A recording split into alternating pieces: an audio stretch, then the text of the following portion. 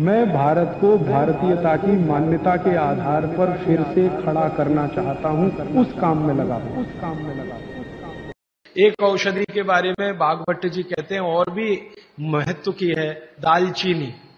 दालचीनी के बारे में बागभट्ट जी कह रहे हैं कि वायु के जितने भी प्रकोप हैं, जैसे दमा, अस्थमा, ये वायु की बीमारियाँ। अस्थमा, दमा, वात की बीमारियाँ, वायु की। तो इनको खत्म करने में या समाप्त करने में या इन बीमारियों को ठीक करने में बड़ी मदद करता है दालचीनी। और दालचीनी के बारे में बागभट्ट जी कहते हैं कि ये दमा, अस्थमा इनको तो खत्म करेगा ही, वात के सब रोगों को खत्म करेगा, कफ के रोगों को भी खत्म करता है। कफ के रोग आप समझते हैं, खांसी है, सर्दी है, जुकाम है, मोटापा है, वज़न बढ़ना, ये सब कफ के रोग हैं। तो इनमें भी दमा जैसी बीमारियों, जितना असर है दमा पे, उतना ही इस पर भी है कफ की। तो दालचीनी का भी उपयोग आप कर सकते हैं, आपकी बीमारी के हिसाब से। दालचीनी आप सब जानते हैं, आसानी से आपको पहचान में भी आती है। बस उसका उपयोग करते समय ध्यान रखें कि ये ज़्यादा उपयोगी है पाउडर के रूप में। कई बार मैंने देखा, भोजन बनाते समय हम दालचीनी का पत्ता डाल देते हैं या उसकी वो जो छाल जैसी है वो डाल, वो उतना उपयोग नहीं आता जितना पाउडर करके वो उपयोग में आता है।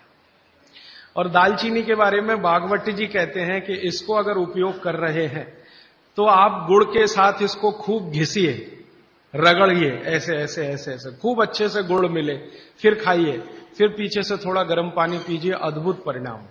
और अगर आप शहद ले सकते हैं तो शहद के साथ तो इसका मर्दन मर्दन एक शब्द उन्होंने इस्तेमाल किया। मर्दन माने घिसना, रगड़ना। तो वो कहते हैं कि खूब रगड़ करके, मर्दन करके शहद में ऐसे ऐसे ऐसे ऐसे पाँच सात मिनट फिर चाटिए और थोड़ा हल्का गुनगुना पानी पीजिए तो आपके शरीर के कम से कम तो पचास रोग, ये अकेला दालचीनी खत्म कर देगा। कम से कम पचास। कफ के रोग और वात के रोग। तो ऐसी बहुत सारी चीज़ें अपने रसोई में है। अभी मैं थोड़ा आगे बढ़ता हूँ, रसोई से बाहर निकलता हूँ, क्योंकि रसोई में अगर मैं बोलूँ तो और तीन चार दिन जाएगा। आपको और ज़्यादा विस्तार से ये जानना है तो मैंने बार बार कहा है पुस्तकें हैं।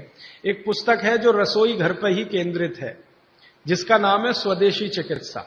और एक दूसरी है सौंदर्य चिकित्सा। माने स्किन के जितने डिसीज हैं, बाहर हैं, आप ले जाइए। भागवत जी के ही सारे सूत्र हैं।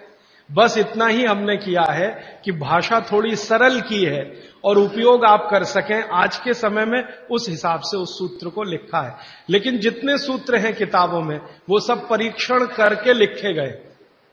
छह सात साल हमने खूब परीक्षण किया है, परिणाम मिले हैं, तभी उनको लिखा है। ताकि किसी को फ़ायदा तो हम दें अच्छा है। नुकसान किसी का ना हो, हमारे कहने और करने से। दोस्तों, सबसे पहले तो चैनल सब्सक्राइब करें, फिर लाइक, कमेंट और शेयर करें। और हाँ हमारा एंड्रॉयड ऐप डाउनलोड करना ना भूलें।